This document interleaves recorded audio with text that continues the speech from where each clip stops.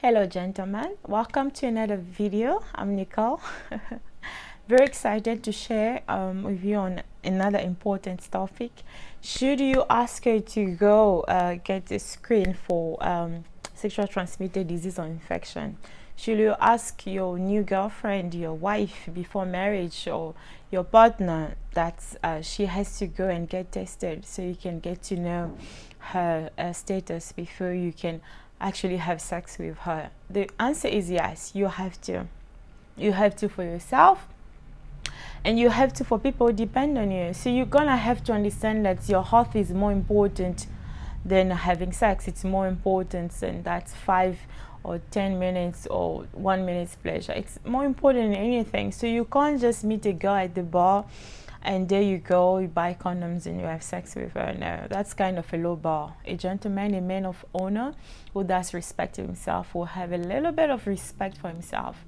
Feeling horny doesn't kill, so you can feel like your testosterone level is high or you have lots of sperm build up in yourself it will never kill you. You can feel like having sexual intercourse and keep that feeling for weeks for months for years it will never kill you. But sleeping with the wrong person getting uh, the wrong or getting a viral infection or a sexual uh, transmitted disease or std or sti will definitely gonna kill you in one way to the other. So it, those things those viruses uh, do suppress your immune system they will affect you in so many ways. So you can't trade a good health for a five minutes sexual pleasure. No, it's not worth it. So you're going to understand that not every girl should get to know you not your, uh, your, your penis shouldn't be you know uh, making entrance into every single vagina that moves around your, your, your place, your area, your eyes, or wherever you go. So you're gonna have to understand that. So I just I want to keep it real. It's all about human anatomy. I hope you get more comfortable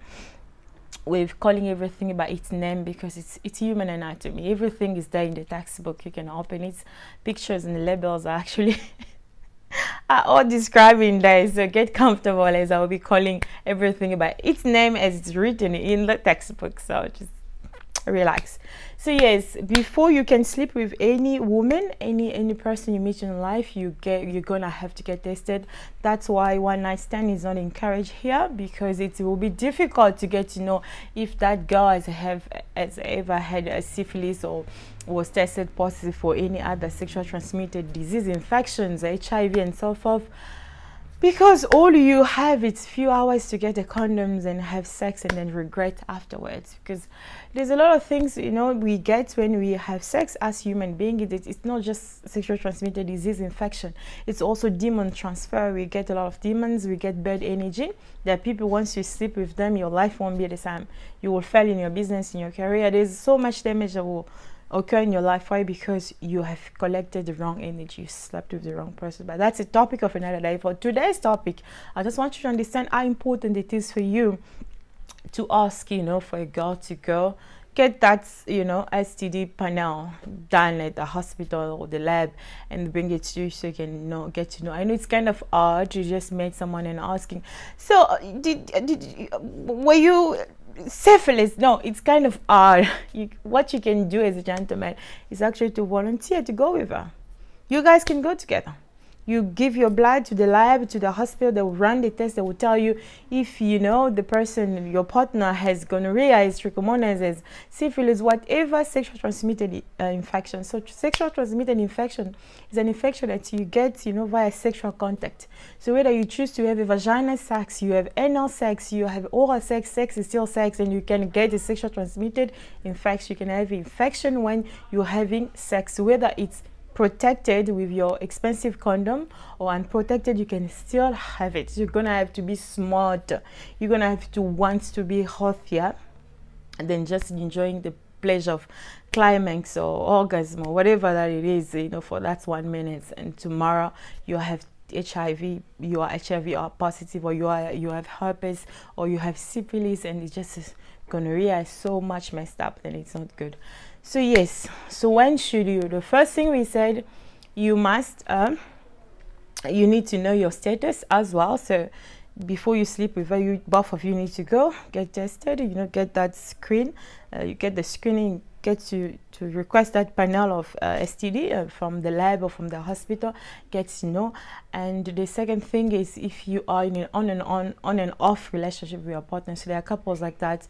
They are together today, they sleep together tomorrow, they break up, and then after a month they get back together. So that's your business. That's your decision. This is how you guys choose to live. But my concern lies about when you guys are not together. How are you sure she's not sleeping with another man? Women lies as much as men lies. Just human being lies. You can't just rely on words for you to trust someone with your life, with your private part, with your, your genitals, which are so far healthy, I presume. So you're gonna have to get tested. Go with a volunteer, say, baby, let's go together. I also wanna know. I want to know my status. I want, but if you know already your status is damaged, maybe you have had syphilis in the past. Just tell her the truth. I've had syphilis. I was on antibiotics. I don't know whatever antibiotics I was given, and the treatment was successful.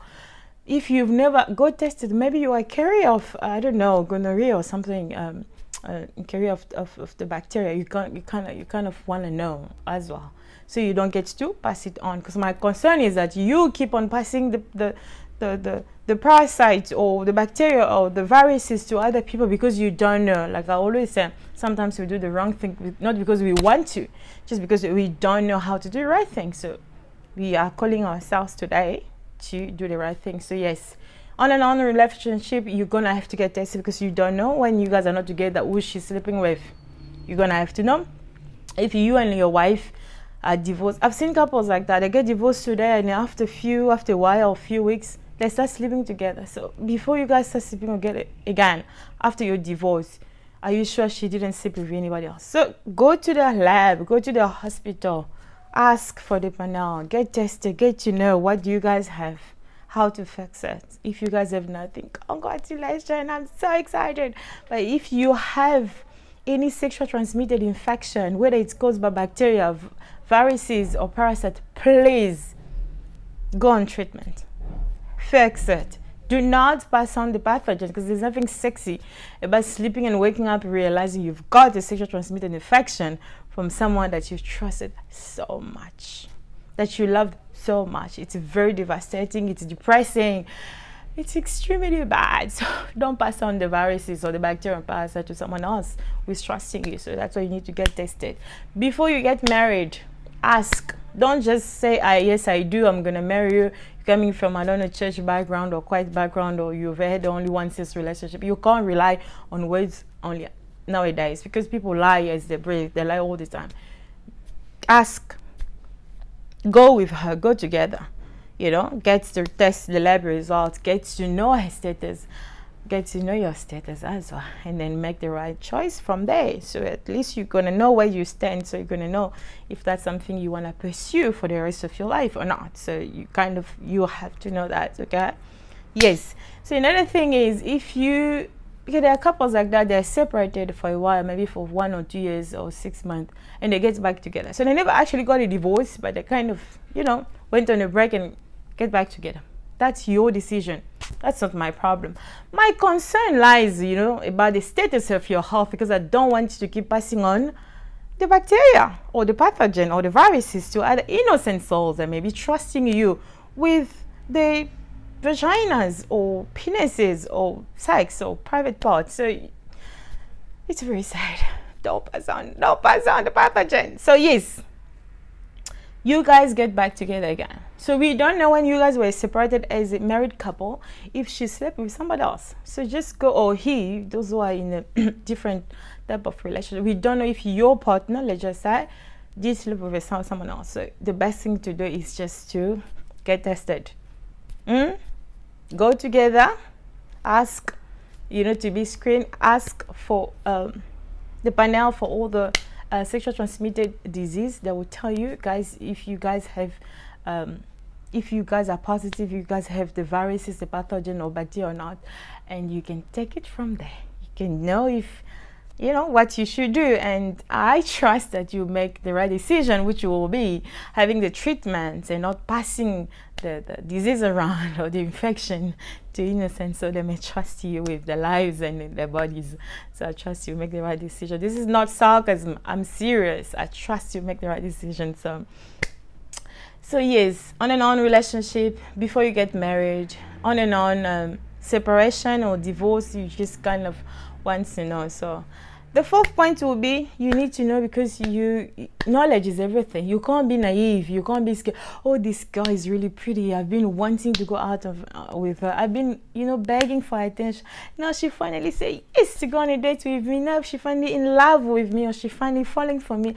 Then i'm gonna go and ask her to go get tested it's it's, it's it's a low bar. It's ridiculous. There's nothing. There's no such a thing as ridiculous. There's a wife who got HIV from her husband, and it was only her, not only her, but two of her babies as well got HIV. All her life, like she felt like everything just collapsed. That's the most depressing part. Get tested. It's very important. You kind of want to know. Don't be scared. Even if she's the most beautiful woman or the most powerful woman or the woman of your dream or she's whatever she is. It's nothing compared to being sick from syphilis or being sick, having those lesions, those everything, the symptoms and signs that comes with sexual transmitted disease.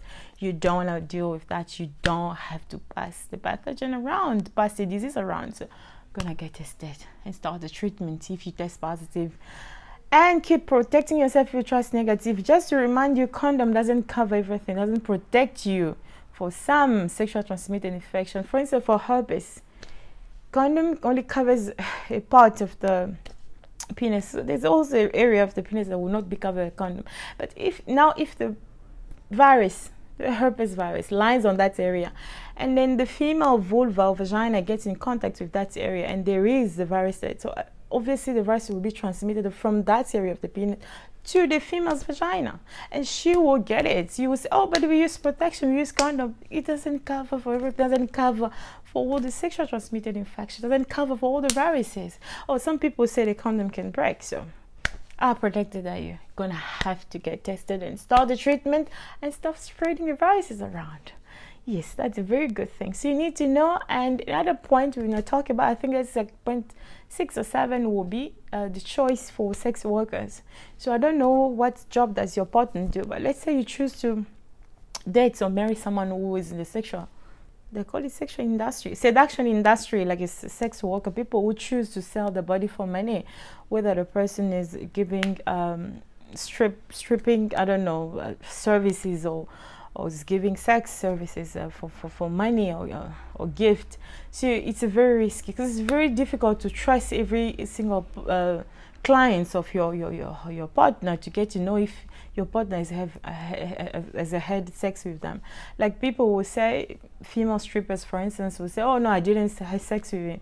She's probably thinking about vagina sex, but sex is still sex. Whether you're having oral sex, you're having anal sex, or vagina sex, still sex. You may not have had a vagina sex, but you gave someone oral sex. So, you know, I don't want to get to the terminology.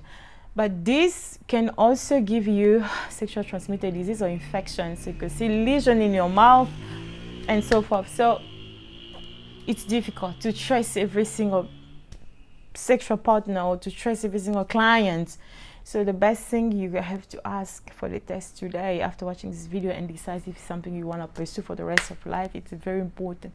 So there are so many consequences you will have to deal with if you get sexual transmitted disease infection today.